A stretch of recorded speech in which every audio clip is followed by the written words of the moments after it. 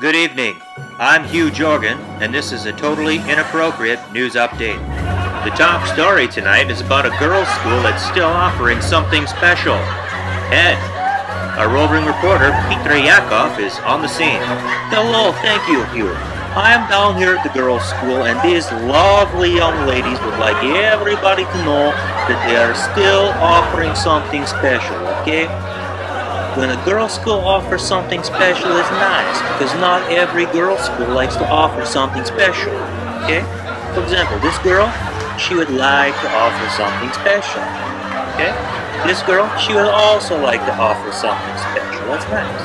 Now the problem is some girls want to offer something special, but not everybody wants something special from that girl, okay?